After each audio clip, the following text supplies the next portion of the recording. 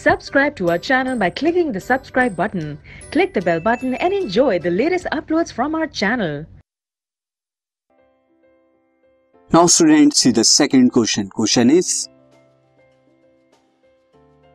A converging mirror forms a real image. Real image बना रहा है at the height of four centimeter of an object of height one centimeter Real image बना रहा है height of four centimetre की and of an object of height one centimetre place at twenty centimetre away from the mirror जो कि twenty centimetre away from the mirror रखी गई है।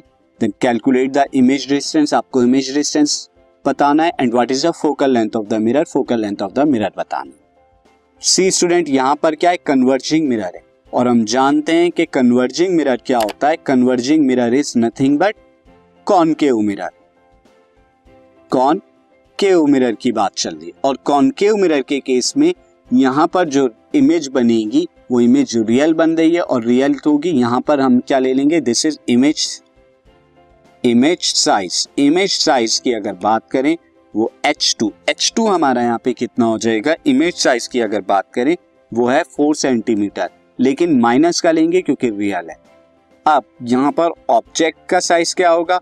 Object जो कि अपराइट रखी जाती है हमेशा, सीधी तो ऑब्जेक्ट का size H one one centimetre हो जाएगा। Similarly twenty centimetre away from the image object रखी गई है तो ऑब्जेक्ट डिस्टेंस यहाँ पे। ऑब्जेक्ट का डिस्टेंस अगर हम देखें ऑब्जेक्ट डिस्टेंस का u इज़ इक्वल टू कितना हो जाएगा? माइनस ट्वेंटी क्योंकि सामने की तरफ़ रखी जाती है, साइन कन्वेंशन के अकॉर्डिंग ये नेगेटिव होगा। So therefore H two upon H one is equal to minus V by U ये फॉर्मूला होता है। अब एच टू हमारा क्या है? माइनस फोर एच वन है दिस एंड दैट्स माइनस ये वी हमें निकालना है एंड यू हमारा कितना है? माइनस ट्वेंटी तो माइनस से माइनस कैंसिल आउट सो यहाँ पर हमारा क्या हो गया? एच वन एच वन की वैल्यू स्टूडेंट वन दे रखी है। मैं यहाँ पर वन रख देता हूँ। तो दिस इज़ वन दिस तो यहाँ पर v कितना हो गया? V is equal to minus four into twenty that is minus eighty so इसका मतलब क्या हुआ? Eighty centimetre from the mirror जो है इमेज बन रही है। So image is form at 80 centimetre from the mirror from mirror from mirror यानी इन फ्रंट ऑफ़ मिरर जो है, ये बन रही है। अब स्टूडेंट फोकल लेंथ बतानी थी तो फोकल लेंथ हमारी क्या हो जाएगी?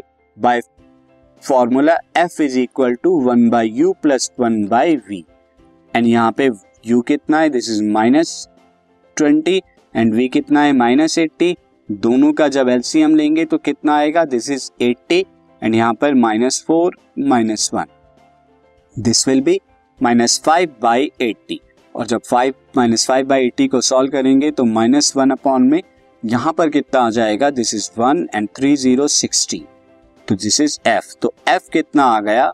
माइनस सिक्सटीन तो फोकल लेंथ कितनी है? Focal length of the mirror is 16 centimetre और माइनस का मतलब ये आगे. क्योंकि कॉनकेव मिरर है तो कॉनकेव मिरर में फोकल लेंथ क्या होती है? नेगेटिव होती है.